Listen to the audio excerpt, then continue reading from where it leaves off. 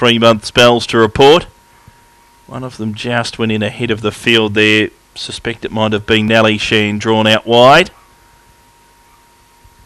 First line is right, second line move to their positions, and we're just about set to go.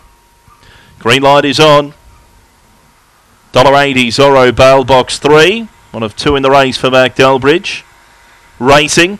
And beginning well was Yanley Bale. Lush Life away well from the centre. Pushing on towards the outside was Murdon with over and away the rail. A length to Zorro ba- Bale to Melly Rocker. It's outside. Then Nelly Shannon last was Alan Don up the side. Yanley Bale went clear of the rail and over and away. Went straight through and took the lead. Zorro Bale closing it on the pair there. Two clear of Murdon. Still over and away in front. Trying to pick it up Zorro Bale but over and away. Too good. Beat Zorro Bale, Yanley Bale and a break to Murdon in fourth from Tamale Rocker. Next across the line was Lush Life.